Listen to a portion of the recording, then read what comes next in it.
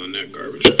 so if you guys can see my face, it's completely fucked right now.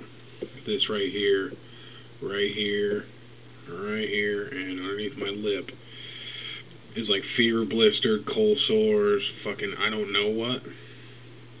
Just know that it hurts and it drains this fucking nasty fluid all the time and I can't stop fucking with it.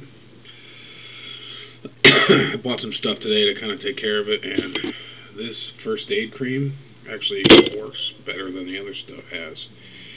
If I could stop fucking sneezing, I would be a lot better off. I have a little bit of a cold, so it's making my nose run. It's gotten worse over the last couple days, i.e., my face. It's gotten worse. I look like my face has been set on fire and put out with a track shoe. I know I'll be better in a few days. Stop sniffling. Get my nose dried out, it'll make a world of difference. And my skin's really, really dry. Went to the gym Monday. I didn't get a chance to look at myself in the mirror before I went.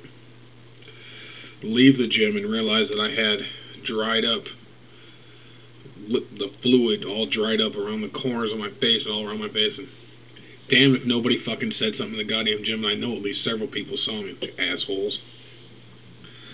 That's it. Uh, uh, thanks everybody for the picture comments.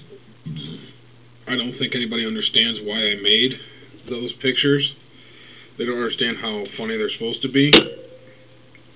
But uh, thanks anyway, guys. That's it.